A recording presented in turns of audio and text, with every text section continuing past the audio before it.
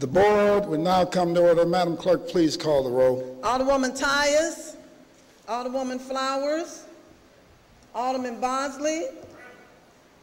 Alderman Moore. Alderwoman Hubbard. Alderwoman Ingrassia. Alderman Coatar. Alderman Conway. Al- Alderman Ortmann. Alderman Vollmer. Alderman Villa. Alderman Arnowitz. Alderwoman Murphy. Alderwoman Howard. Alderwoman Green. Alderwoman Baringer. Alderman Roddy. Alderman Kennedy. Alderwoman Davis. Alderwoman Spencer. Alderman French. Alderman Boyd. Alderman Vaccaro. Alderman Ogilvie. Alderman Cohn. Alderman Williamson. Alderman Carter. Alderwoman Krewson.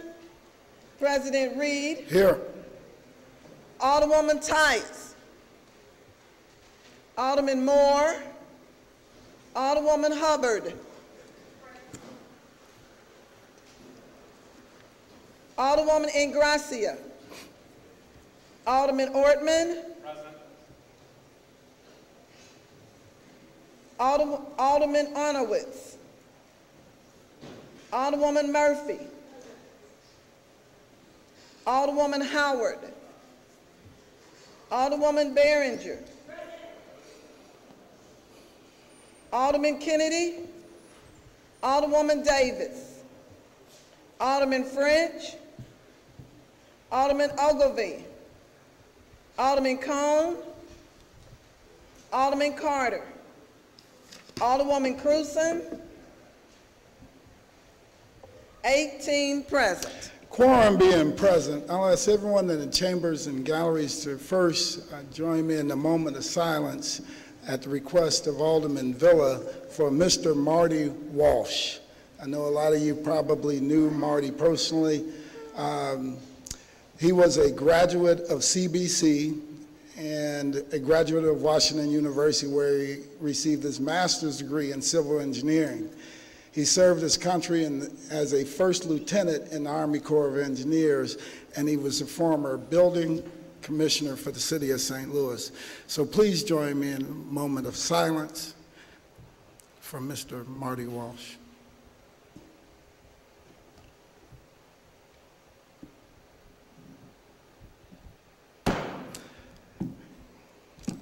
Giving all honor to God, Almighty God, source of all authority, we humbly ask guidance in our deliberations and wisdom in our conclusions. Amen. Introduction of honored guests. Any introduction of honored guests?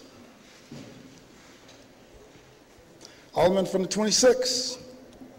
Yes, Mr. President, members of the board, I'd like to have as my honored guest today the former comptroller resident of the 26th Ward, Virvus Jones, and Ms. Robinson from Ameren UE. Thank you. Alderman from the 12th. Alderman from the 16th. Thank you, Mr. President, members of the board. I would like to have as my special guest today Anthony Lencia of the AGC of Missouri. Any further introductions? Any further introductions? Alderman from the 9th. Thank you, Mr. President, members of the board. I'd like to have for my honored guest Martina Johnson from the St. Louis Association of Realtors.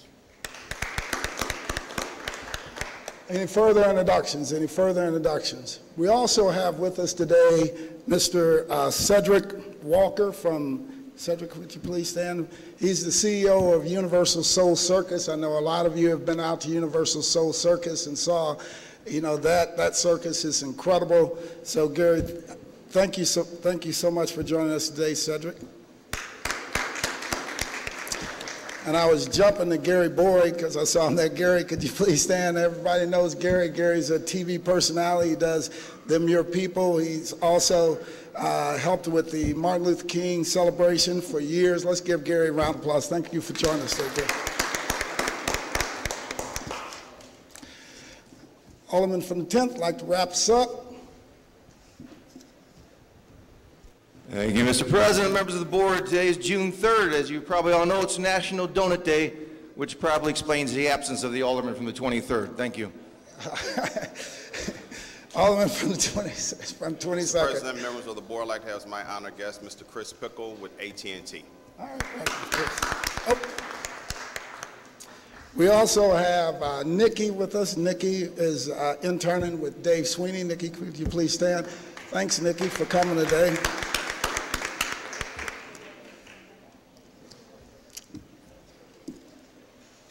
Alderman from the 18th, you recognize on approval of the minutes.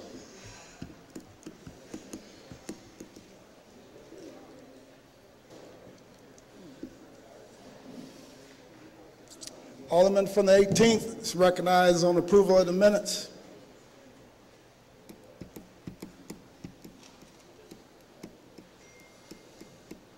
Mr. Clerk, Ms. Clerk, Mr. Clerk, could you please, the Alderman from the 18th, for approval the minutes?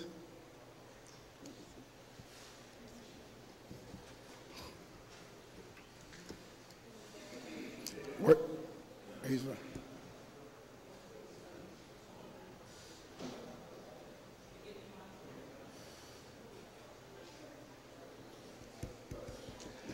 Alderman from the 8th, you recognize on approval of the minutes. Approval of the minutes of the May 20th meeting. Moved by the Alderman from the 8th, entertain a second on that motion. Seconded by the Alderman from the 12th. Any discussion? All in favor signify by saying aye. Aye. Opposed, motion carries.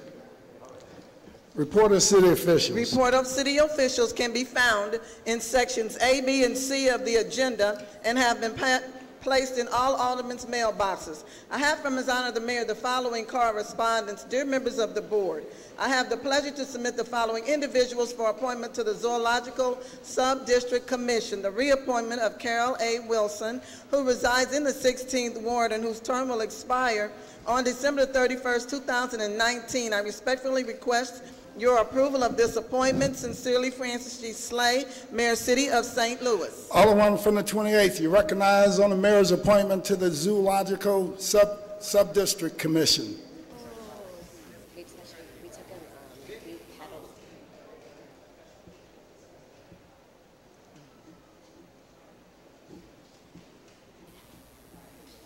Mental Health Board? Okay. Oh, Zoological District. Yeah. Thank you, Mr. Want to make the motion for the, for the, to approve the mayor's appointment to the Zoological Sub-District Commission. Thank you, Mr. President. I move to confirm the mayor's appointment of Carol Wilson to the Zoological Sub-District Commission. It's been moved by the Alderman from 28th. Entertain a second on that motion. Seconded by the Alderman from the 23rd. Any discussion? All in favor signify by saying aye. Opposed, motion carries. Dear members of the board, I have the pleasure to submit the following individuals for appointment to the Mental Health Fund Board of Trustees. The appointment of Jennifer Matthew, who resides in the 16th Ward, whose term will expire on December 31st, 2018. The appointment of Donna Schmidt, Schmidt, who resides in the 16th Ward and whose term will expire on December 31st, 2018. I respectfully request your approval of this appointment. Sincerely, Francis G. Slay, Mayor City of St. Louis. Alderman from the 2nd, you recognize on the mayor's appointment to the Mental Health Fund Board of Thank you, Mr. President, members of the board. I'd like, I move for approval of the uh, appointments to the Mental Health Fund Board of Trustees. Been moved by the Alderman from the 2nd. Entertain a second on the motion. Seconded by the Alderman from the 13th. Any discussion? All in favor signify by saying aye. Opposed, motion carries. That's the extent of report of city officials. We dispense with line items seven and eight. Would anyone like to take any bills off of any of our informal calendars? Would anyone like to take any bills off of any of our informal calendars? Alderman from the 26th. Yes, Mr. President, I'd like to take uh, Board Bill 65, remove it from the perfection calendar, and put it on the informal calendar. All right, Madam Clerk, please move Board Bill number 65 from the regular, from the perfection calendar to the informal calendar. So noted. All right. We will dispense with line items 8 through 10, first reading Board Bills. Board Bill 69, sponsored by Alderwoman Spencer, and ordinance amending the revised code, amending sections 26.08.348 and adding a new section titled City of St. Louis Short-Term Lending Code pertaining to the regulation of short-term loan establishments as defined herein. Board Bill 70, sponsored by Alderwoman Spencer, an ordinance calling and providing for the holding of an election on November the 8th, 2016, for the purpose of submitted to the qualified voters the question of charging a fee for the issuance of a permit for the operation of a short-term loan establishment. That's the extent of our first reading. Madam Clerk, please assign Board Bill 69 and 70 to Public Safety. So noted. Reference to committee. To the Public Safety Committee, Board Bills 69 and 70. That's the extent of reference to committee. Second reading. Following Board Bill were reported out of the Ways and Means Committee, Board Bill 57 as amended, sponsored by President Reed, an ordinance calling for the holding of an election on November the 8th, 2016, for the purpose of submitting to the qualified electors a proposal to levy and collect a property tax of 5 cents per each $100 of assessed valuation for the purpose of providing services to persons aged 60 or older. The following board bills were reported out of the Streets Committee. Board Bill 30 as amended, sponsored by Alderman Coatar, an ordinance pertaining to vendors on the wharf, repealing ordinance 61362 and enacting in lieu a new ordinance establishing the process Have some order. For soliciting vendors for said area, establishing a wharf vending district, and establishing a riverfront vending district committee. Board Bill 41 as amended, sponsored by President, sponsored by Alderman Villa, and ordinance recommended by the Board of Public Service to conditionally vacate travel on a northern 120-foot, 128-foot section of the north-south alley in City Block 3210 is bounded by Davis, Michigan, Hurck, and Virginia. Board Bill 55, sponsored by Alderman Bosley and Alderman Carter, and on ordinance recommended by the Parking Commission making appropriation for payment of the operating expenses, capital equipment, and improvement expenses, including lease purchase agreements involving the Parking Division asset, debt service expenses of the Parking Division of the Treasurer's Office, Kiel, Kiel and City, City Hall Parking, Information Technologies Office, Argyle Parking, Chouteau Building, Parking, and parking, Williams Paper Parking, Central Downtown Parking, Buckingham Parking, Cupples Parking, and Justice Parking for the fiscal year beginning July the 1st, 2016, and ending June the 30th, 2017, amounting in the aggregate to the sum of 16 million six hundred and seventy-nine thousand seven hundred and fifty dollars and containing an emergency clause. Board Bill 64, sponsored by Alderwoman Davis and ordinance recommended by the Board of Public Service to conditionally vacate travel on the 17th Street to Washington to St. Charles Street. That's the extent of our second readings.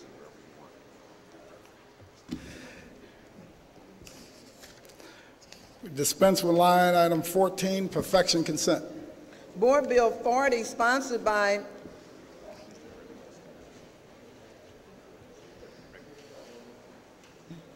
I can't, I can't.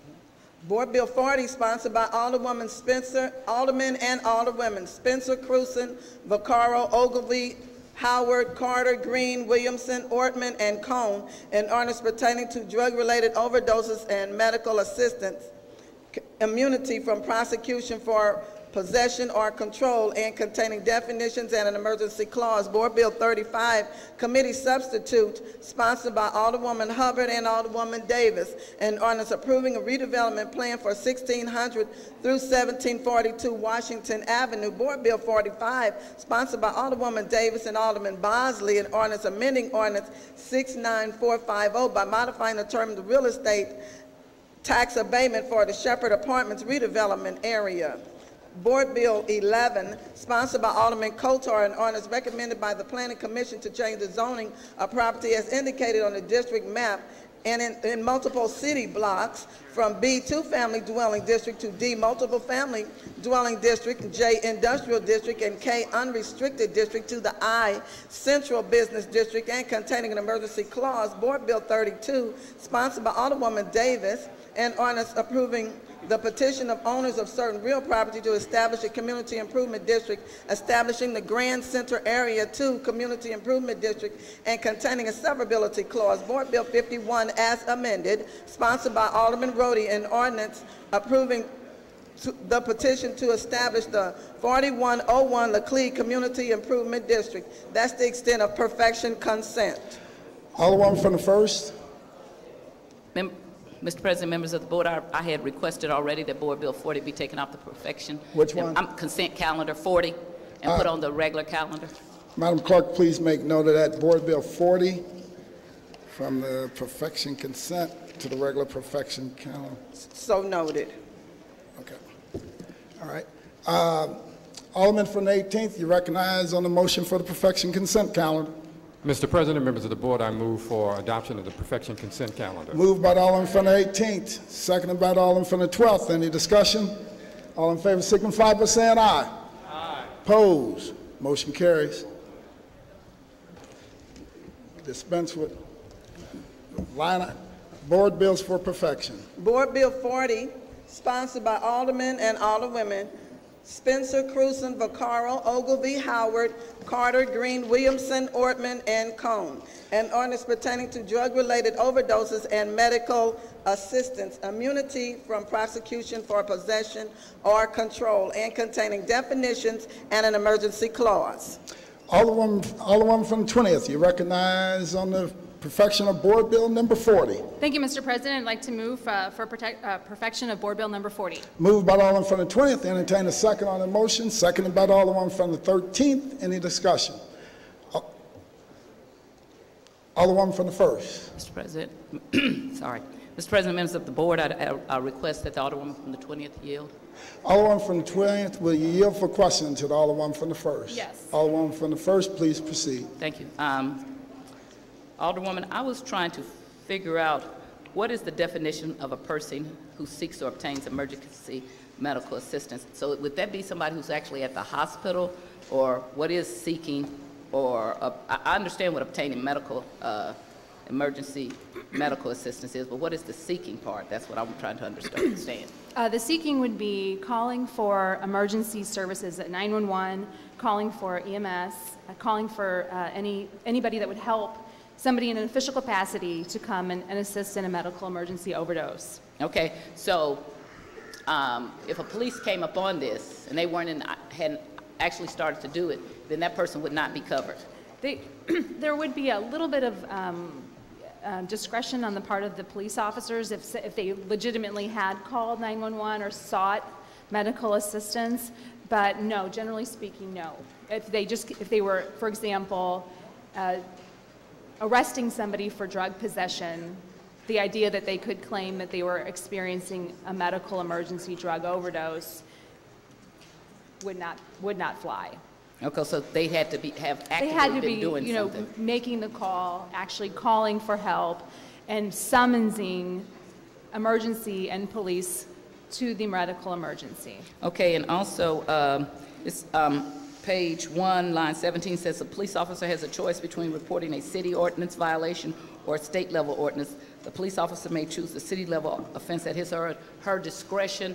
Is it our, is it your, uh, are you seeking that they do seek to do the uh, city ordinance rather than the state? That's correct. So with this ordinance, we, uh, as the employers of the police department, are instructing our police officers, um, as their employer, what we want them to be doing, and that is uh, to be using the city ordinance. That's correct.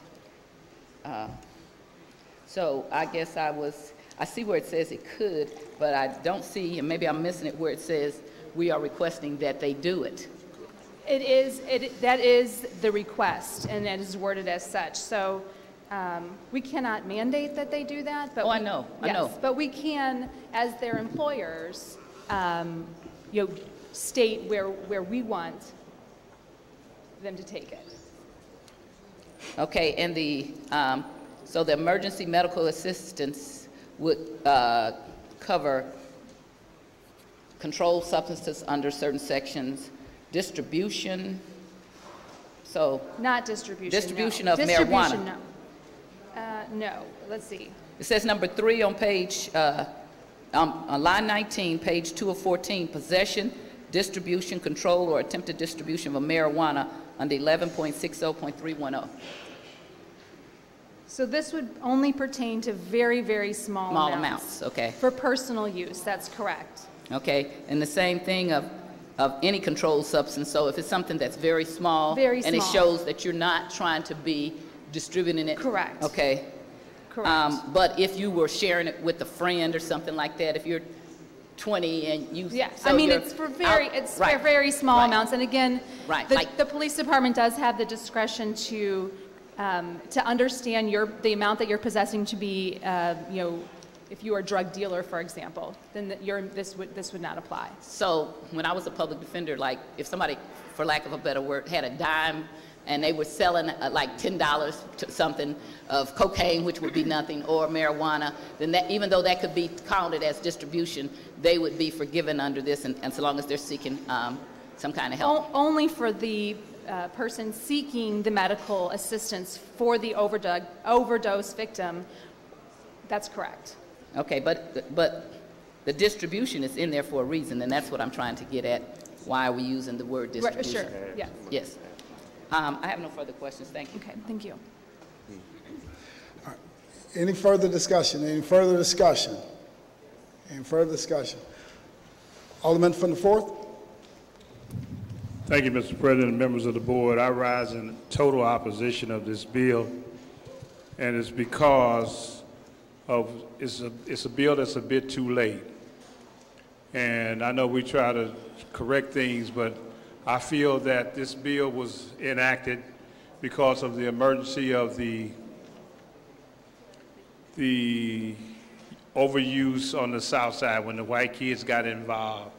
That's when this bill got enacted. We've, we've gone to jail, we've died and overdosed, and I don't like the idea of the immunity from prosecution. I think that we are relaxing the laws too much, and there's no, uh, how would we say, there's no consequences to the bad behavior. And I think this takes out the bad behavior. It's telling me that I can use heroin or whatever and overdose and, and I'm going to get straightened out. They're going to save my life. And then I don't have it. I'm, im- I'm immune from, from uh, prosecution or from the courts. So I think it's a bad bill. I think we could do other things, but we need to have consequences for bad behavior. And, I, and that's why I'm, I rise in opposition to this bill. All right, thank you, Alderman. Any further discussion? Any further? Alderman from the 21st? Thank you, Mr. President.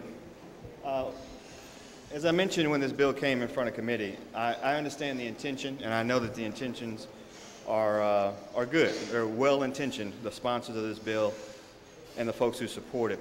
Uh, What I was concerned about, and uh, the testimony of the Circuit Attorney's Office and the supporters of this bill kind of back this up in the committee. Uh, What I'm concerned about is that we're providing a mechanism now for people to be treated differently for the same crime in the city of St. Louis. And so now officers, if we pass this, have the discretion that for some individuals, they will use the state statute, and for other individuals, they will use the local ordinance. Um, and what I am concerned about, as we have seen uh, with the discretion of individual officers sometimes, is that certain people are treated differently than others. And what I'm concerned is that we're going to set up a situation where white kids uh, from St. Charles who come to St. Louis City to buy their drugs and use their drugs uh, are going to be slapped on the wrist, saying that this is just something that kids do. It shouldn't destroy their lives. Let's give the officer an option to do the local ordinance and let the kid go on about his business. While uh, young people from my community uh, will very likely be charged under the state statute, and the officer very likely will not give them uh, the benefit of the doubt and not charge them under this new local ordinance. Uh, as it is right now, it will be completely against up to the officer decide if they go the state route, the local ordinance route, or if it's a case of a youngster, the juvenile route. And what I think is that we're adding confusion to the system. And, uh, and I understand, again, why we're doing this. In fact, we, this shouldn't be uh, on us at all. This should be done at the state level. Uh, so there's one set of rules for everybody in the state, regardless of county, regardless of the mood of the individual police officer that day. But the state has not acted, and so once again, we find ourselves having to do the state's job. And um, the fact is, though, that we don't have the authority to, with an ordinance, um, supersede a state statute. And state statutes regulate these, uh, these, these crimes right now. And so what we're hoping is that a, uh, an officer will know about this ordinance and then at his or her discretion, um, use it accordingly. And again, I just think that we're setting up an unfair system, and a lot of things are very often done uh, with, with good intentions, only to come back a few years later and realize that they are being selectively enforced uh, and that certain groups are being penalized much harsher than others. So I think it is something to consider uh, as we vote on this today. Um, I voted present at the uh, committee level, and I'll probably do the same today. Um, I understand the intention, and it is possible that this can uh, help certain individuals, um, but I'm also pretty sure that this will not be a courtesy extended to everyone, and that there will be a system where people are treated differently uh, in the city of St. Louis for the same exact crime, and that concerns me. Any further discussion? Any, fur- Alderman from the, f- Alderman from the 15th? Yeah. Thank you, Mr. President, members of the board. I rise in opposition, or I rise in support of this bill. Um, It has a bit of a personal meaning to me. Um, Back in 2005, um, shortly after I moved to St. Louis, I um, received a phone call that one of my best friends from childhood had um, overdosed on heroin. And he was left um, in a building by himself because his friends were afraid of prosecution. And it wasn't for many hours until they finally came forth and um, went to his parents instead of going to the police to tell them what had happened. Laws like this can save lives. And I understand that many feel like it's too little, too late, and I understand that there's a lot of discretion um, that can be given to the officers. And I think, you know, sometimes we have to not have the perfect be the, you know, enemy of the good. And if there's un- unintended, you know, consequences of this, I'm sure that many of us would be willing to come together and address those unintended consequences in the future. Um, but to give a mechanism for people to feel like they can come forward if there is a medical emergency, um, I think it is, you know, something that we have to be doing in this city. Uh, it's a life and death um, matter for many folks, and so I applaud the woman, uh, the alderwoman from the 20th, for bringing this forward, and I fully support these efforts. Alderman from the first? President, members of the board, I had questions because I am pulled, um, as a former public defender, I love laws like this, okay? You need them. Um, we needed them many, many years ago. That uh, three strikes and you're out has always been ridiculous, okay? And it's a lot of young black men that are in prison and locked up for life sentences about small amounts of drugs. And a lot of them um, needed help, not locking up. When, uh, before I left here, I was the chair of uh, public safety, and I actually took, opened up the workhouse, and we took the press into the workhouse about the concerns I had about how people were being treated, and the fact that we brought uh, Dora Schriro in and gave her a $15,000 raise overnight over the woman who had been running it. Um, so there were a lot of concerns that continue to be. In fact, my last conversation I had with Alderman Carter before he passed was he called me asking for the report that I had done back then because he was then working on some of the same issues that I had been working on 10 years ago. So the public defender in me, the attorney that says that the fairness, I like this. I'm also uh, aware of what the Alderman from the 21st talks about, about the unfair impact. Um, And so that pulls at me. But unfortunately, I want to say the officers already have the discretion to do that. And I've seen that happen over the years. I started out my career as an attorney with the uh, public defenders, but I was in juvenile. And so many times our clients were young black men and the young white men would be brought down there and then their parents would be called and then they would go home and this has happened over and over and over again um, my colleague david stokely who's now passed on and i um, this was in the 80s we started to raise so much heck about this stuff that they went from having one lawyer to five lawyers down there because we were we were uh, trying every case we were raising heck about it um, it still doesn't take away from what a good start this is. Is, is. My concern is about the distribution more so than the, the impact, because the impact is going to be there until we start being truthful about things, okay? It's going to be there. The officers oftentimes will not uh, charge people and just take them home, and they already right now can charge you under the state or the local, so they've already, they already had that. Um, I think, and I'm just thinking about this as I go on, I think I'm going to come on the side of, I'm going to vote for this. But that don't mean that I don't understand that it's not fair. And as we change the drug laws, and, and we are doing that, and we should have done that a long time ago, um, then we also need to open up our jails and let these people out that have been locked up. We could empty most of the jails. We should also be looking at these for-profit prisons that uh, make a lot of money off of people, okay? We also should be looking at our own system where we used to have that uh, uh, Ollie Stewart, your committee woman, used to every Christmas call me up and I want to take stuff into the jails. And then uh-huh. was told now she can't deliver stuff to the prisoners there for free. That's ridiculous because we set it up for a profit system, okay? Mm-hmm. It's ridiculous. So I told her, I'm, I'm committing to her right now because Ali is in her 80s and she has fought the good battle mm-hmm. that I will pick this up and I will start taking stuff over to the jails because I think that's ridiculous that we don't allow an 80 year old woman who goes over there and collects all of this stuff and then now we're telling her no because we've set it up with a contract where people can make money. For years I hated it as a public defender that when the client tried to call his parents, they would make them have to pay so much money. So if you have somebody locked up who's not been found guilty, right now you have to pay so much money or they have to call collect. This is all a ruse for people to make money.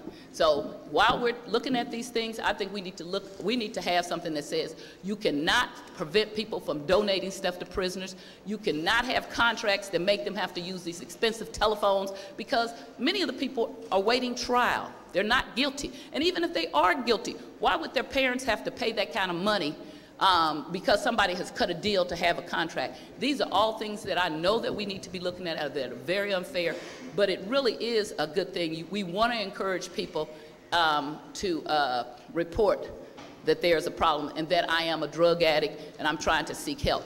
But what I want to say to people is this, is that when you see your next door neighbor, you think that they are the child next door, also know that my next door neighbor, and I live in a predominantly African American community is the child next door.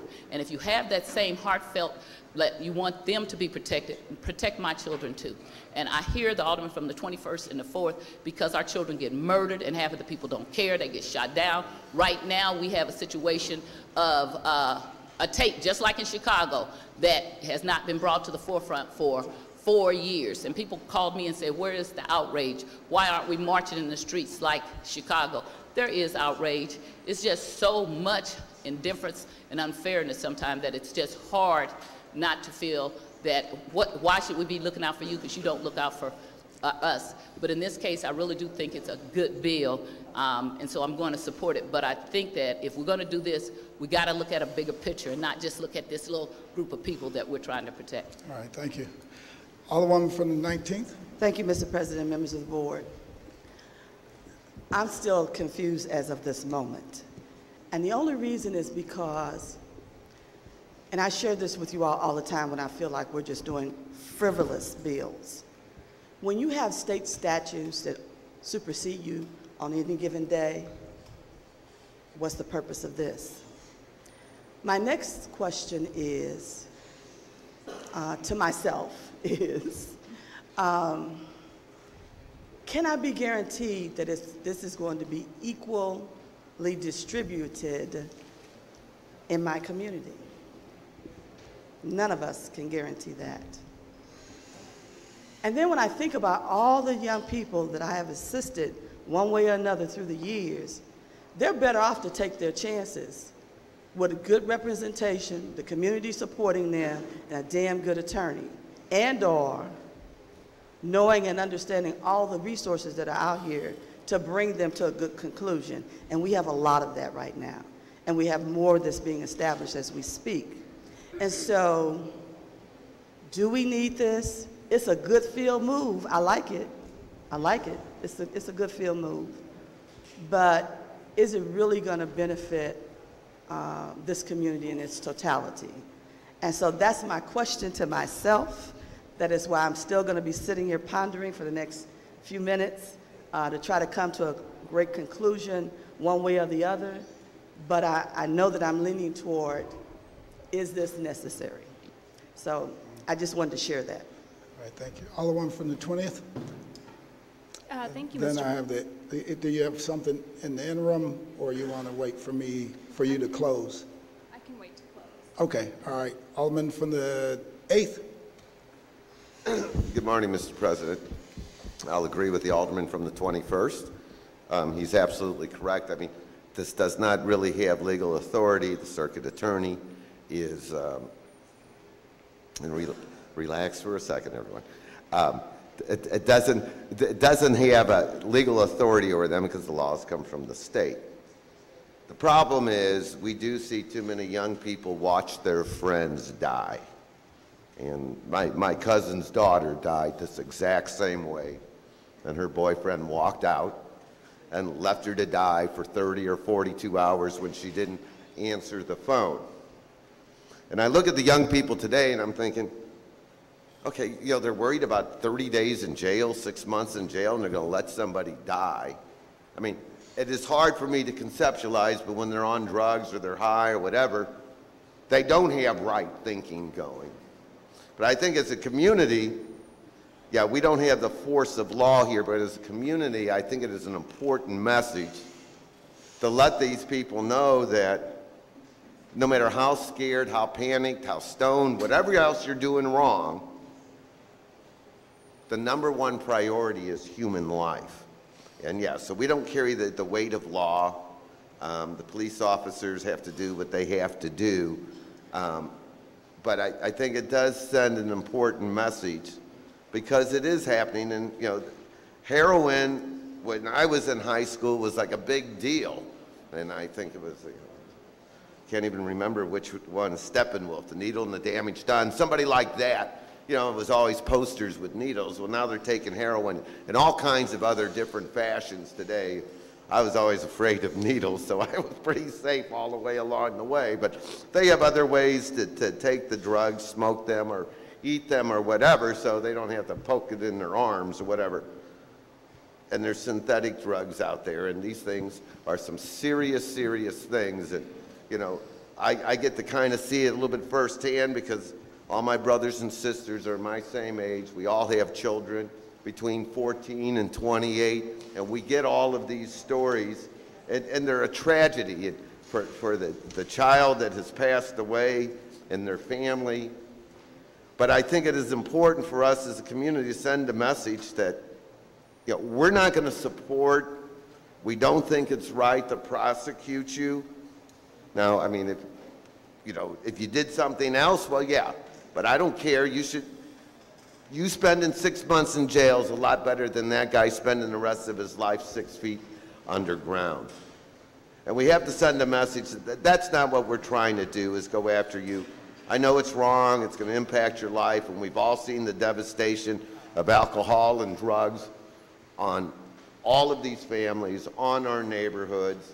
I mean, crack cocaine, for those of you who were around 20 years ago, I thought was the most devastating thing I'd ever seen. I'm not, I don't know that people died from crack cocaine um, back then, but boy, they were doing a lot of it, and we had a lot of crime directly associated with the, the people trying to do it. The bottom line is human beings shouldn't sit there, worry about whether or not they're going to be incarcerated while they watch someone else die. And I think it is an important public policy that we say that we support this. We understand what the alderman from the 21st says, but that in, in policy and principle, um, we support this because we want them to call 911. We want them, it'll be your child, your nephew, your niece. Make sure that people make the right decision. And sometimes you have to make a decision to make that call that might be bad for you also, but six months or six years is a lot less than the rest of your life underground. Thank you. Alderman from the 21st. Yes, uh, will the sponsor yield to questions? Alderman from the 20th, will you yield to the Alderman from the 21st? I will. Alderman from the 21st, please proceed. Thank you. Good morning. I, I- again, I want to say that um, I understand the intention, and we all, I think, would support uh, this smart legislation being passed at the state level, and it applies to every county in the state and everyone equally. Uh, what I am concerned, though, is that we are adding confusion to the situation. So, uh, if we pass this, if an officer arrives at a scene and uh, his judgment or her judgment is that uh, an arrest should be made in that case. Um, is he acting in violation of this new ordinance? It is my understanding that the officer would not be acting in violation of the ordinance. Okay. So in other words, if an officer arrives to a scene and determines that the, the amount is such that this is not for personal use, they are drug dealing, they are, they are, uh, they have guns, for example, they have a warrant out for their arrest, these, this, this ordinance does not provide immunity for any of those things. If, if the officer arrives, and even if you are calling 911 and you have a warrant out for your arrest, or you, have a, you are illegally possessing of firearms, th- this is still, the officer, it, the responsibility would be to arrest you for those other offenses. Okay, but if the officer arrived on the scene and chose to make an arrest under section 11.60, which are what we are providing immunity for, uh, would they be violating our ordinance? No, it's my understanding that they would not. Okay. Um, well, let me draw your attention to page two, uh, line 10. So the way that this is written, the immunity clause there, it clearly states that a person who in good faith uh, seeks to obtain emergency medical assistance, dot, dot, dot, you can see line 10, shall not be arrested. Shall not be arrested, shall not be charged, shall not be prosecuted, shall not be convicted, Mhm. et cetera, et cetera. So if an officer used his discretion or her discretion and decided to make an arrest under existing law, under existing state law, he or she would be violating this ordinance, which says that he shall not make an arrest.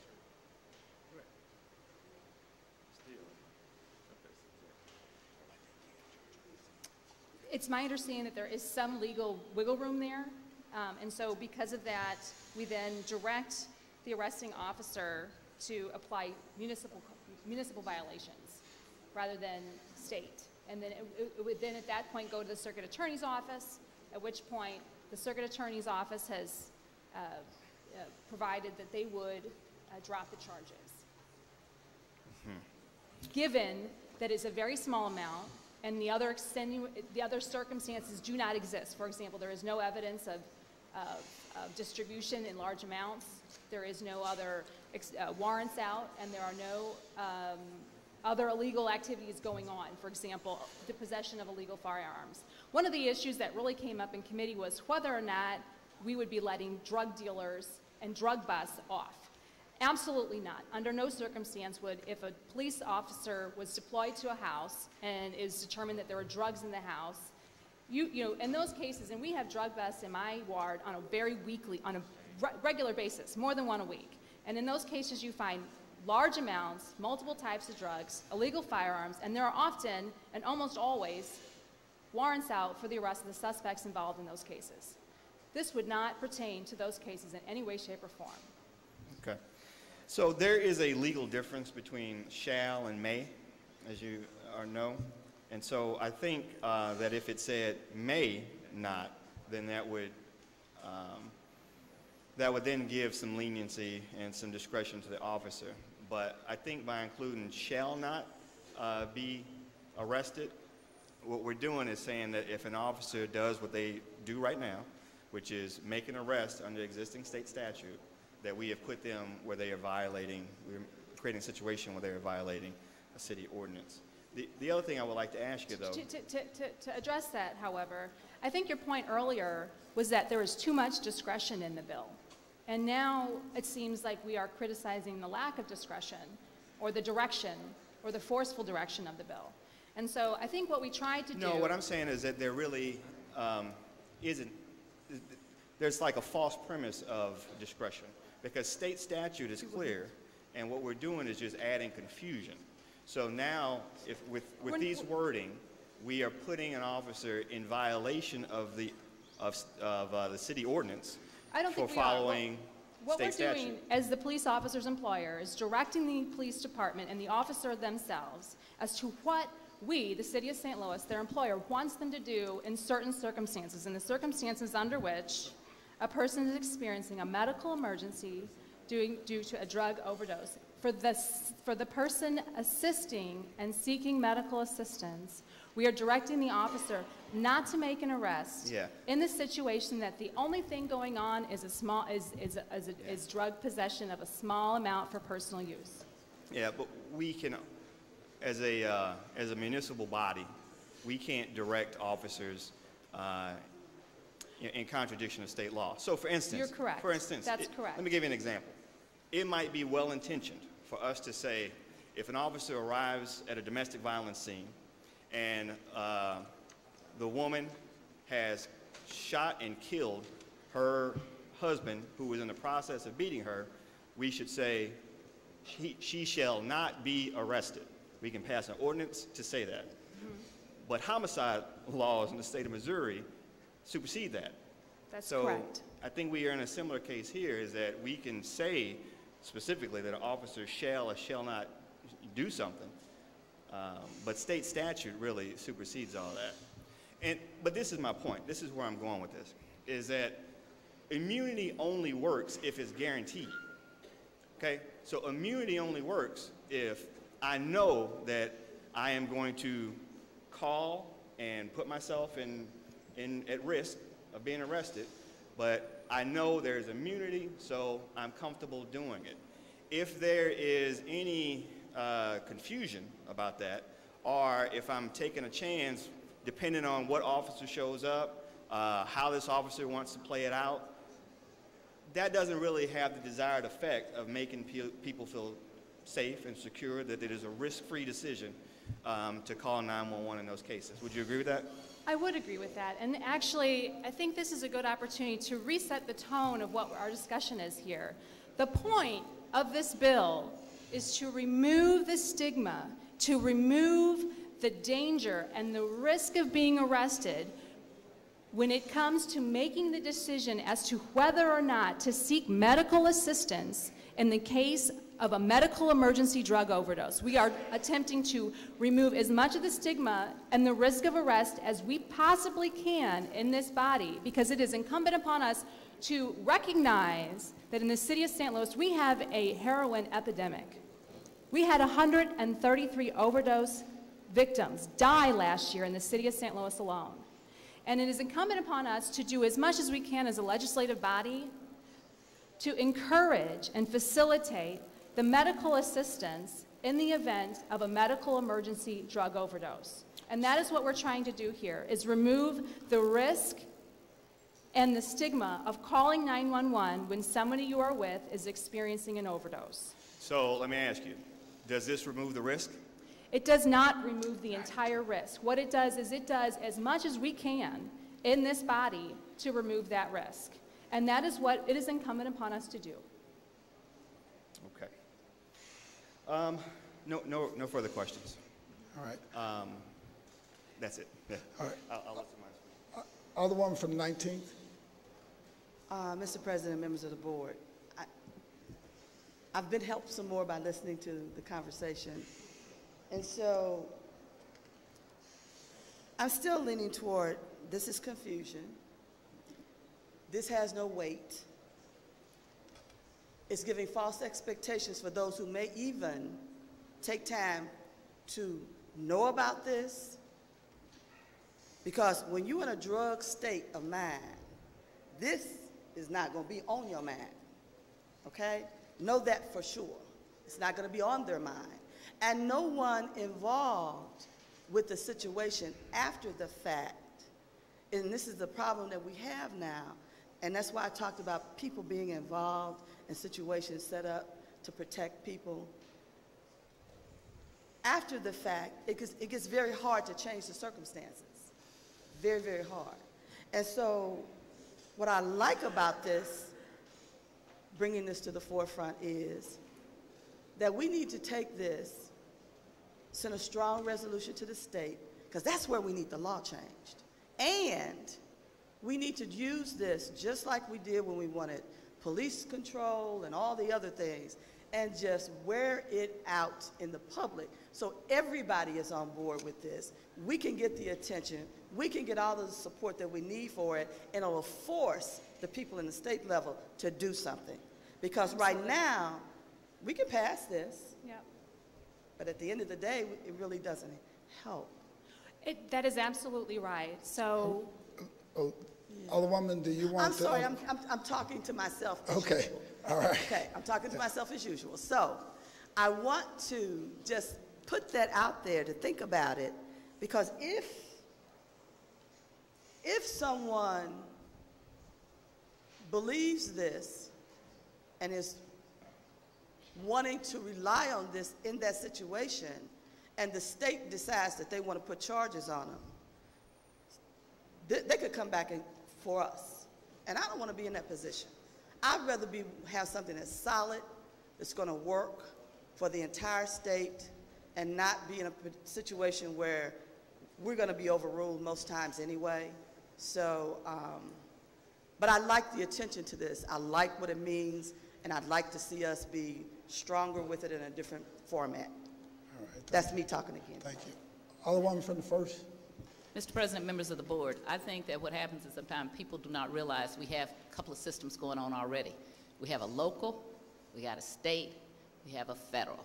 We've seen this been en- enacted on a federal level, and that many of the states have now legalized marijuana.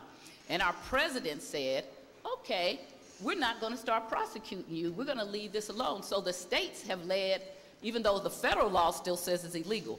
This is what this bill is attempting to do. Sometimes you have to lead from local to make uh, state and federal listen to you. And in fact, we actually have two different sets of laws. We have a local law about drugs.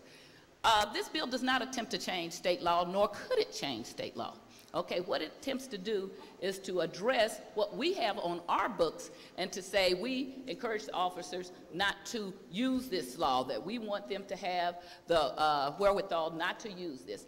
That does not prevent the circuit attorney or the officers, never could prevent them from taking and charging you with a state law, because that still could happen. Just like in Colorado and all the places that they have legalized marijuana, if President Obama wants to tomorrow, he could send the feds to go after them. But he does not, and he said he's not going to do it. And I think that was a smart thing to do.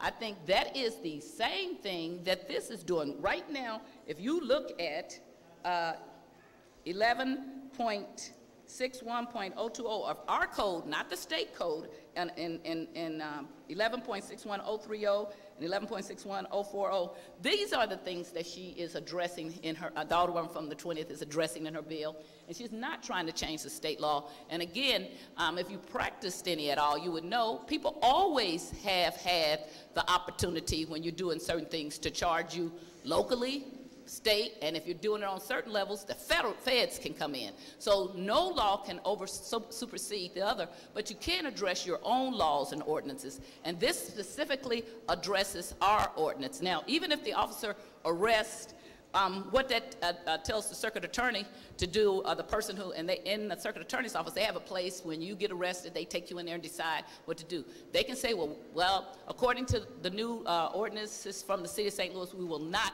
charge you under the uh, municipal code or the uh, St. Louis code, but they still could charge you under the state code or something like that. So she's not attempting to change anything. The, the board bill does not attempt to change anything state or federal. It is just addressing our very own ordinances. And um, it really brought up a, a, a bad memory for me. When we were in high school, some of the young people who uh, I went to high school with, it wasn't about drugs, but there were some people who used to have this gaming, and they, uh, they gambled. And so two of the young men decided to, who they knew they had a lot of money, and they decided to rob them. And one of the men had a gun and shot one of the people that, uh, this is right before our graduation, um, and he shot one of the men. And just like with the drugs, my friend, my other friend, drove him around because he was scared to take him to the hospital, and he died, okay? And it's unnecessarily. And of course, when people are, uh, you say, well, when they're under drugs and whatever, they're not thinking about that, but they are.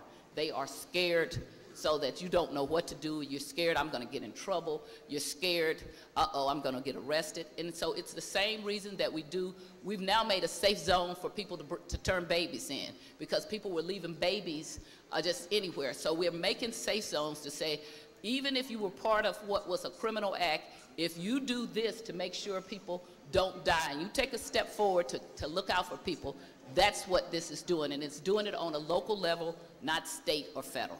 Thank you. Any further discussion? Any further discussion?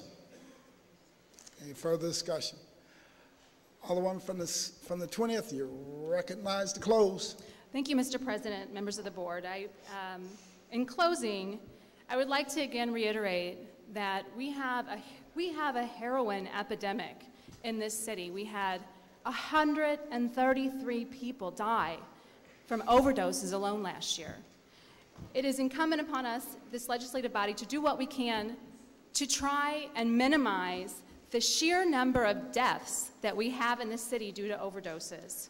We know to, the, to, to one of the questions as to whether or not this will actually do anything. The purpose of this bill is to encourage people to call 911 and to seek medical assistance in the time of a medical emergency drug overdose. We know that eight, 70 to 80% of users are using with other people, and almost always victims of overdose are found alone. Therefore, we know that there is a large opportunity to encourage those people to call 911 in the event. Now, this bill is only going to be as good as getting the word out, and that is why we have made partnerships with activists and folks helping, uh, uh, helping addicts in the community. Here before us today, Robert Riley of the Missouri Network for Opiate Reform and Recovery is here. Their whole entire network is standing with us to make sure that they get the word out and they reach thousands, thousands of addicts in the city every month.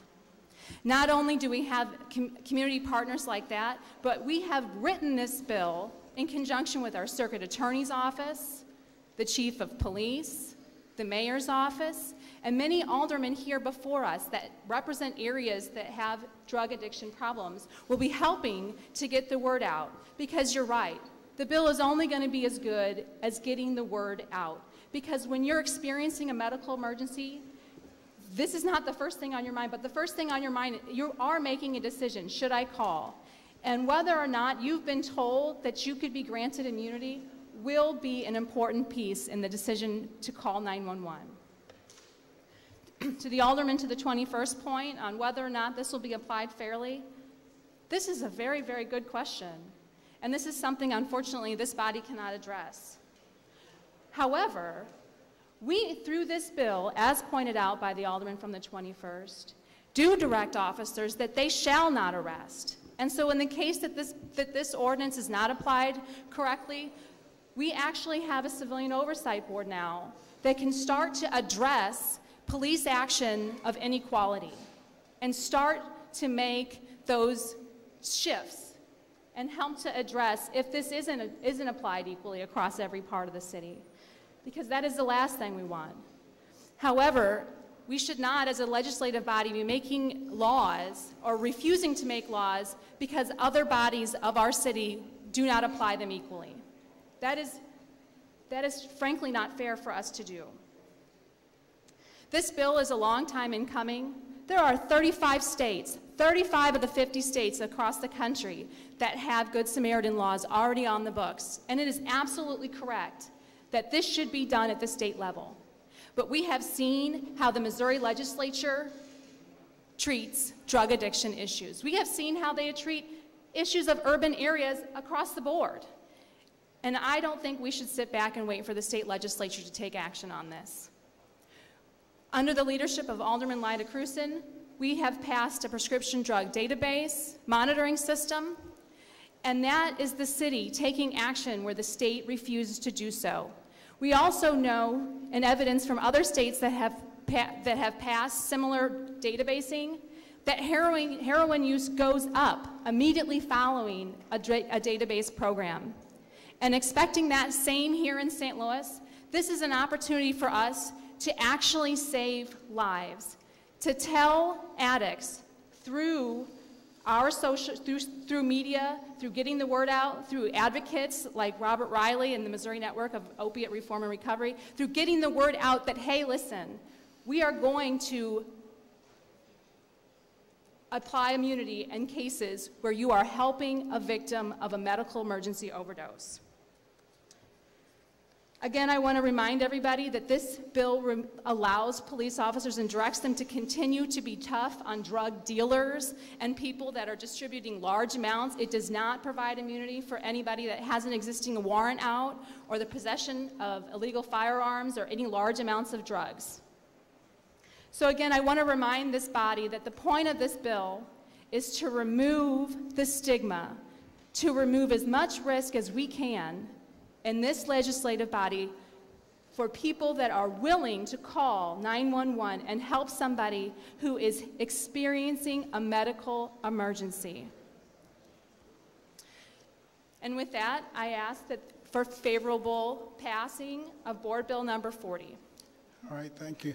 It's been moved by all the Alderwoman from the 20th and seconded by all the Alder, Alderwoman from the 13th that we perfect Board Bill number 40. I don't know if there's a request for roll call. There's been a request for roll call. Madam Clerk, please call the roll. Alderwoman Tyus. Alderwoman Flowers. Alderman Bosley. Alderman Moore. Alderwoman Hubbard. Alderwoman Ingrassia. Alderman Coatar. Alderman Conway. Alderman Ortmann. Alderman Vollmer. Alderman Villa. Alderman Arnowitz. Alderwoman Murphy. Alderwoman Howard. Alderwoman Green. Alderwoman Baringer. Alderman Roddy. Alderman Kennedy. Alderwoman Davis. Alderwoman Spencer. Alderman French. Alderman Boyd. Alderman Vaccaro. Alderman Ogilvie. Alderman Cohn. Alderman Williamson. Alderman Carter. Alderwoman Krewson. President Reed. Aye. Alderman Cohn.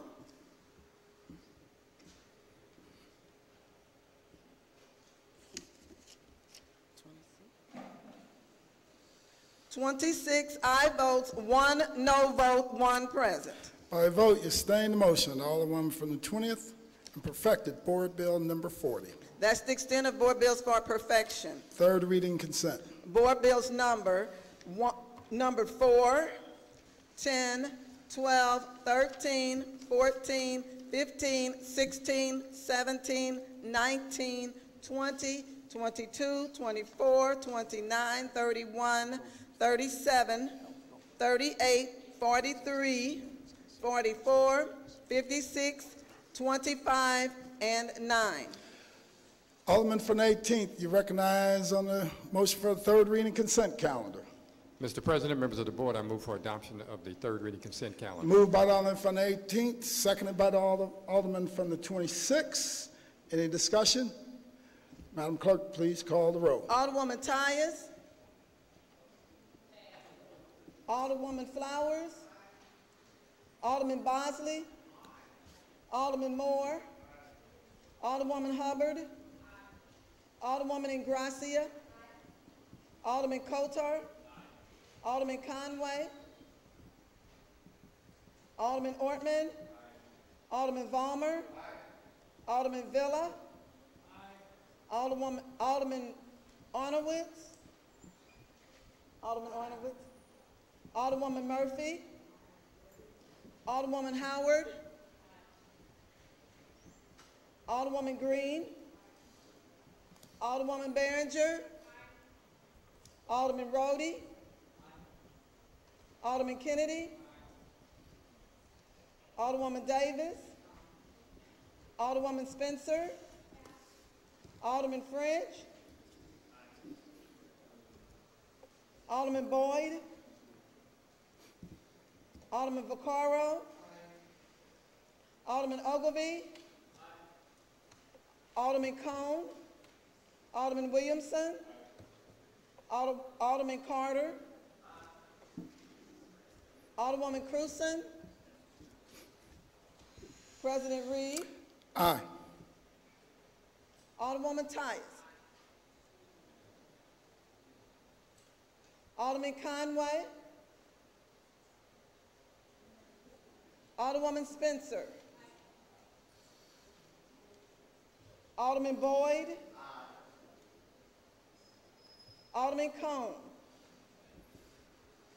Alderwoman Krewson. 26 I votes. By a vote, you sustain the motion. Alderman from the 18th and 3rd read and finally passed the aforementioned bills.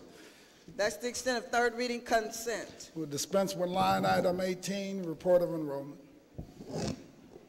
Report of enrollment. Board bills, board bills 4, 10, 12, 13, 14, 15, 16, 17, 19, 20, 22, 24, 29, 31, 37, 38, 43, 44, 56, 25, and 19. Um, I'm sorry, and 9. All other business being suspended, the president shall in open session affix his signature hereto to the end that these may become law.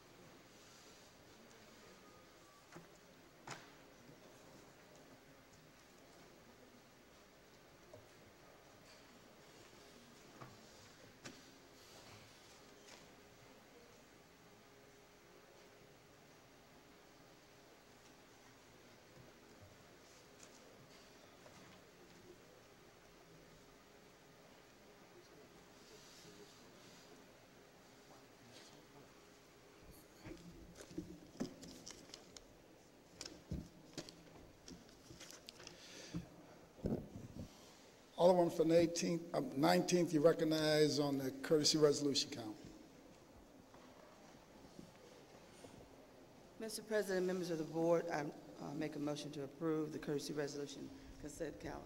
Moved by the Alderman from the 19th, seconded by the Alderman from the 22nd. Any discussion? All in favor signify by saying aye. Thank you. Opposed? Motion carries.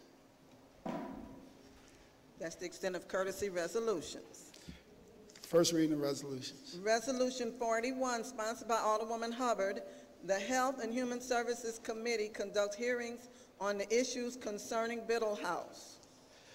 Alderman from the 5th, you recognize on the first reading of resolution number 41. Thank you, Mr. President. I move that Resolution 41 be sent to the Health and Human Services Committee. It's been moved by the Alderman from the 5th. Entertain a second on that motion. Seconded by the Alderman from the 22nd. Any discussion? All in favor signify by saying aye.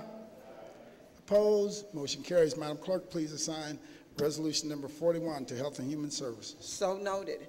Resolution number 43, sponsored by Alderwoman Ingrassia and Alderwoman Green, calling on the Health and Human Services Committee to hold hearings to discuss the merits and possible development of a subcommittee or standing committee for the St. Louis Board of Aldermen regarding women's and social justice issues, and that the Health and Human Services Committee report its findings and our recommendations to the board. Alderman from the 6th, you recognize on the first reading of resolution number 43. Thank you, Mr. President. I move to have Resolution 43 referred to the Health and Human Services Committee. It's been moved by all the Alderman from the 6th. Entertain a second on that motion. Seconded, seconded by the Alderman from the 22nd.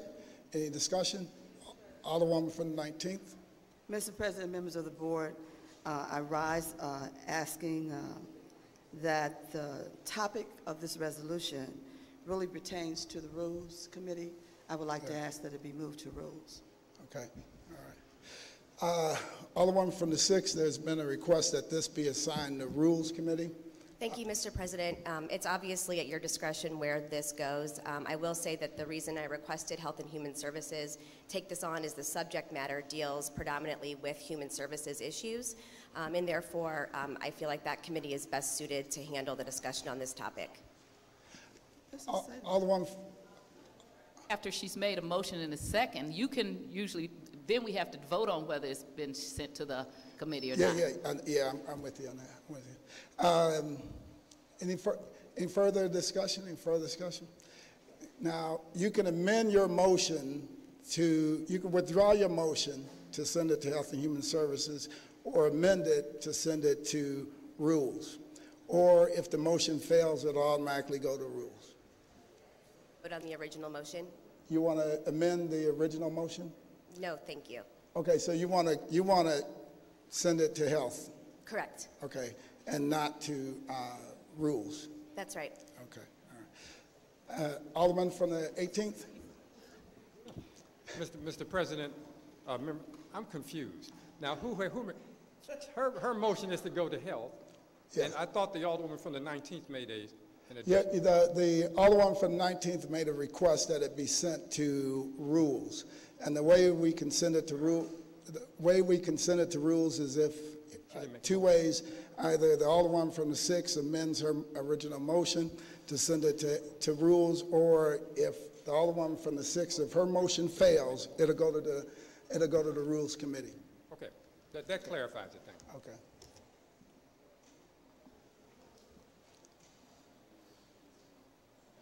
Uh, Alder- Alderman from the 18th, uh, you still have the floor. Thank you. Um, And, and her, the Alderwoman from the 6th, I'm trying to get clarity here. Your reasoning for the Health Committee, Uh, uh, Alderman, would you like the Alderman from the 6th to yield for questions? yes, pardon me. Alderman from the 6th, will you yield for questions? I will. Alderman from the 18th. Alderman from the 18th, please proceed. Thank you. Will you please re-explain again your reason for it going to the Health I'm, Committee? I'm sorry, I can't hear you. Your, your reason for it going to the Health Committee? Uh, The subject matter that uh, is being discussed um, relates to um, a variety of topics that Health and Human Services typically discusses, considering um, homeless, veteran affairs, Office on the Disabled, St. Louis Area Agency on Aging, youth and families, and health and wellness. Okay, all right. But it, it also speaks about social, it, it would seem to me, since we already have one related to racial equity, that you might want to consider them together, and that's already in the Rules and Resolutions Committee. And they might enhance each other by being in the same committee as opposed to separate committees. So that, that's all. Thank you, Mr. President. All right. Alderman from the 19th. Uh, Just to clarify the last statement that the alderman from the 18th made, that was my main reason, because when looking at this, I knew that we were already setting up uh, formats for discussion on areas that deal with civil rights, equity, discrimination, uh, racial disparities, uh, wage disparities. And so all of these issues are kind of the same, and we're bringing in experts and everything so that we can come to some conclusions, and probably there will be some recommendations out of the committee for some very specific types of things to go forward from this Board of Aldermen. And that was why I, I said what I said, because uh, it was in line with where we are already. Yeah, agreed. Any further, any further discussion? Alderman from the second? Thank you, Mr. President, members of the board. Will the alderman from the sixth please yield for questions? Alderman from the sixth, will you yield for questioning to the Alderman from the Okay. second? I will. Alderman from the second, please proceed. So again, what are the health issues that you want to talk about, discuss in the Health and Human Services Committee? Uh, I think that would be, I mean, a lot of the issues are going to be hopefully discussed um, by having the committee members come up with issues that they have, but specifically, um, what I had in mind was um, disability rights, um, the pink tax, a variety of um, health issues, health disparities with women, and other social justice issues. Would you be willing to um, possibly exclude the racial, uh, I I don't know what the words are in the justice? I mean, because I think that's what's kind of holding it up. What you described to me was, you know, you wanted to talk about women and having sanitary things at work on the job or so forth. I think what's, what's going on here is the racial discussions of things that's already in the committee, the Rules Mhm. Committee, is what's kind of getting some folks in a bunch. I don't have a problem with hearing your, your resolution, because trust me, there have been resolutions that should have been assigned to the Health Committee that weren't. So I don't have, I don't have a problem with you having an opportunity to talk about women issues, but I don't know what was discussed in the other committee hearings. And as I made mention to you before, I don't want to start anything here, but I'd be happy to hear the resolution. It is, it is up to the discretion of the president. Thank you. All right. Alderman from first. Point of order again. It is up to your discretion, but once there has been a motion and a second, Second. we need to vote on it. It is no longer your discretion at that point, Yeah, okay? But, uh, and, and you're right, we're up, we're just, uh, we're in the dis- discussion phase of the motion and the second. I'm, I'm with you, yeah, I'm, I'm with you. Uh, Any further discussion, Alderman from the, from the 11th? Yep, Thank you, Mr. President. I just made this up, but the uh, Alderwoman from the 19th, if she wanted, certainly could have put her comments in the form of a substitute motion, which would have been an order. The fact that the uh, lady from the 6th had a, uh, made a motion and seconded it is one thing. Substitute motion is always an order. Absolutely. Uh, And having said that, let me editorialize. If I were the alderman from the 19th and it went to Health and Human Services where the lady suggests, I think they can study the heck out of it. And then if it came to my Rules Committee, I would really study it. And if you didn't feel that it was worthwhile having a special committee, that would be the very end of it. That's just a solution off the top of my head, which doesn't hold much. Alderman from the Thank you, Mr. President. Thank you. Alderman from the 19th, you recognize. Mr. President, members of the board, I'd like to make a substitute motion to have uh, Board Bill Number 43 uh, heard in the Rules Committee. It's been moved by the Alderman from the 19th, I entertain a second on that motion. Seconded by the Alderman from the 4th and Alderman from the 26th. Any discussion? Any further discussion? It's been moved and seconded by the Alderwoman from the 19th that we assign resolution number 43 to rules and engrossments. Madam Clerk, please call the roll. Alderwoman Tyus. Alderwoman Flowers. Alderman Bosley. Alderman Moore. Alderwoman Hubbard. Alderwoman Ingrassia. Alderman, she said no. Alderman Coatar. Alderman Conway. Alderman Ortmann. Alderman Vollmer. Alderman Villa. Alderman Arnowitz. Alderwoman Murphy. Alderwoman Howard. Alderwoman Green. Alderwoman Baringer. Alderman Roddy. Alderman Kennedy. Alderwoman Davis. Alderwoman Spencer. Alderman French. Alderman Boyd. Alderman Vaccaro. Alderman Ogilvie. Alderman Cohn. Alderman Williamson. Alderman Carter. Alderwoman Krewson. President Reed. Aye. Alderwoman Flowers.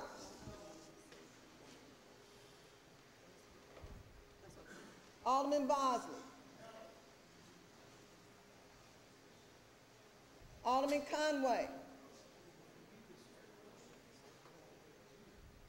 Alderwoman Spencer. Alderwoman Spencer. Alderwoman Spencer.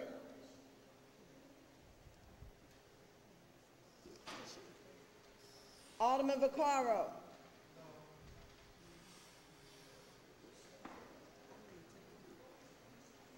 Alderman Cohn. Alderwoman Krewson.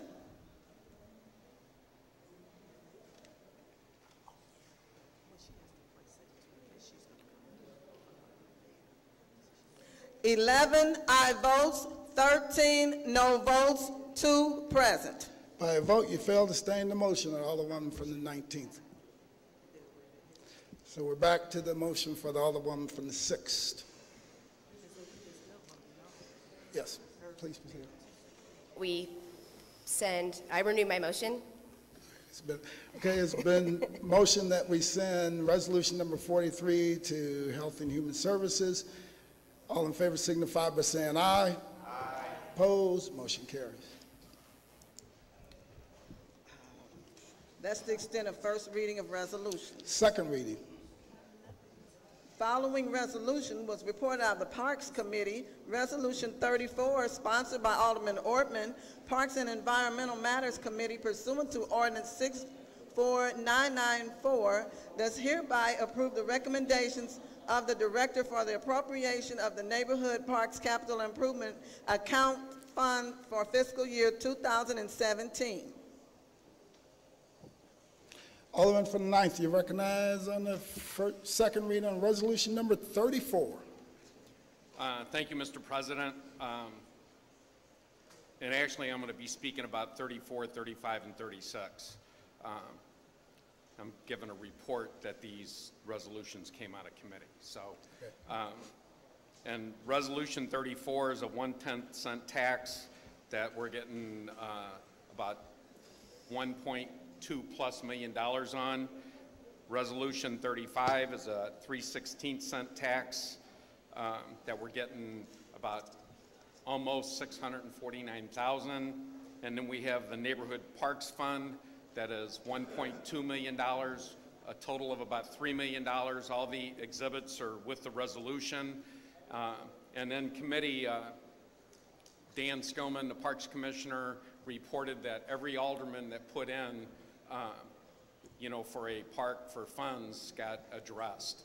So uh, it's been a long time in coming since I've been here that we finally have enough money to cover a lot of the projects that need to be done on the uh, smaller parks. So it's, it's good news. We're going to have about $3 million put into our small parks spread across the whole city this year. Thank you. Right, thank you. The following resolutions were reported out of the Parks Committee. Resolution 35, sponsored by Alderman Ortmann, the Parks and Environmental Matters Committee pursuant to Ordinance 69372 does hereby approve the recommendations of the Director for the appropriation of Neighborhood Parks Capital Improvement Account funds for fiscal year 2017, and also Resolution 36, sponsored by Alderman Ortmann, the Parks and Environmental Matters Committee pursuant to Ordinance 67477 does hereby approve the recommendations of the Director for the appropriation of Neighborhood Parks Capital Improvement Account funds for fiscal year 2017. That's the extent of second reading of resolutions. Ms. Lane's unfinished business. We have none. Announcements. The Personnel and Administration Committee will be meeting immediately following the full board meeting today in the Leisure Room. Immediately following the full board meeting, and the meeting will be closed to the public under provisions of Section 6 610.021 of the Missouri Revised Statutes in order to permit the members of the committee to discuss personnel matters. Monday, June the 6th, Ways and Means Committee meeting at 9 a.m. in the Leisure Room. Wednesday, June 8th, Ways and Means Committee meeting at 8:30 a.m. in the Leisure Room. Also on Wednesday, Legislation Committee meeting at 11 a.m. in the Kennedy Room. Friday, full board meeting, 10 a.m. in the chambers. That's the extent of my announcement. Any further announcements? Alderman from the second. Thank you, Mr. President, members of the board. I'd like to hold a Health and Human Services meeting June 6th at 10 a.m. to hear Resolution 41, please. All right, please make note of that. So noted. Alderman from the fourth. Thank you, Mr. President, members of the board. A legislator, one of you aldermen, one of my colleagues borrowed a photo album of the uh, New Year's Eve ball in City Hall that we had a while back. I would like to get that book back so I can get it reprinted and get other pictures. So whoever borrowed that book, if you know someone that borrowed that book from me, please bring the book back. Thank you. All right, thank you. Alderman from the 24th. Uh, thank you, Mr. President. I just wanted to wish the Filoni's Restaurant family a happy 100th birthday. Uh, the restaurant has been at the same location on Manchester Avenue, uh, owned by the same family uh, for, for a century now, which is uh, kind of incredible, and they're still going strong. Uh, go tell them hello sometime soon. Thank you. Thank you. Alderman from the 20th. Thank you, Mr. President. Uh, I'd like to uh, announce that this Saturday, tomorrow, we are reopening the Marquette Pool for the summer. Uh, for those of you who have never been, the Marquette Pool is the largest free public pool in the entire city of St. Louis. It's located in the lovely Dutchtown neighborhood, which we may recognize as being one of our top 15 neighborhoods for crime in the city. In fact, Dutchtown has had more person crimes than any other city in the city of St. Louis to date this year. But the park there to come out and support the park and the neighborhood would be a great opportunity tomorrow starting at noon. The health department will be there giving out free health screenings and we'll also have free gun locks. So coming out tomorrow to Marquette Pool, noon to 4. All right, thank you. Alderman from the 7th. Thank you, Mr. President, members of the board. Uh, this weekend's the 47th annual Lafayette Square Spring Home and Garden Tour. Uh, Saturday and Sunday, tickets are 20 bucks in advance, $25 at the door. Come on down to Lafayette Square and see some of the beautiful homes and gardens. Thank you. Alderman from the first. Mr. President, members of the board, uh, this past weekend, which was a holiday weekend, I keep doing this, we had a meeting over at Mark Twain neighborhood. And uh, first of all, I want to just give a shout out. That's a new neighborhood that I've been representing. The other parts of the neighborhood are the old 20th. And uh, so many people came, we almost had to just move the meeting. But one of the people who came was Mr. Herschel Parks. Mr. Herschel Parks turned 97 on March, I mean, I'm sorry, on May 31st. And he's still out there active and caring about his neighborhood. So I want to give a special shout out to Mr. Herschel Park and to wish him a happy 97th birthday. It was so wonderful uh, to see people like that still caring about their neighborhood, still coming out, still be, being viable people in the neighborhoods. And I would say to young people, look at people like this these people have carried the ball for a very long time. So when you're asking about what's going on, how- why don't things happen, it's because the average age at the meeting was probably 55 and above. Young people, you got to get involved. You can't, I, I'm all for the protest, Black Lives Matter, but when we have meetings and we send out mailed notices and you don't come to anything and then you're upset, There's some order. Please proceed on. then you're upset because you're not included, it's because you're not coming to the very things that the seniors are coming to, and so they get to direct policy because you're not um, being involved. And again, I want to just say happy birthday to uh, Mr. Herschel Parks, and to thank him for coming out and to wish him a happy 97th birthday. Any further announcements? Any further announcements? Any further announcements? Alderman from the 18th, you recognize on the motion to excuse. The Motion to excuse. President, members of the board, I move that the alderman from the 25th be excused for necessary absence. Been moved by the Alderman from the 18th, seconded by the Alderman from the 22nd. Any discussion? All in favor signify by saying aye. Aye. Opposed, motion carries. Alderman from the 18th, you recognize on the motion to adjourn. Mr. President, members of the board, I move that the board adjourns until Friday, June 10th, 10 a.m. Moved by Alderman from the 18th, entertain a second on the motion. I think seconded by Alderman from the 3rd. All in favor signify by saying aye. Opposed, stand adjourned.